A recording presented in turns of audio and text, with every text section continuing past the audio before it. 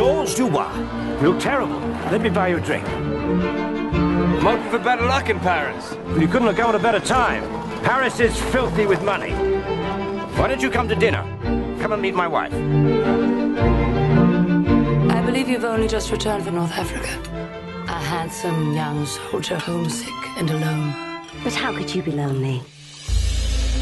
The most important people in Paris are not the men, but their wives. What do you enjoy? Everything.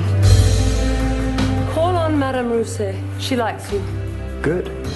What brings you here? When can I see you again? I missed you so much. Bel Ami, I thought you'd forgotten me. Serge. Does your husband tell you you're beautiful? I brought you into my home. I fed you. I clothed you. How do you repay me? Clotilde or Virginie? Or both? Why do you come back to me? I don't know. I've been such a fool. Bel Ami, failed soldier, barely literate. You'll never amount to much. Get out of my house! Get out! You stupid man! You complete and perfect man! They don't trust you. Don't you see? I loved you and you had nothing.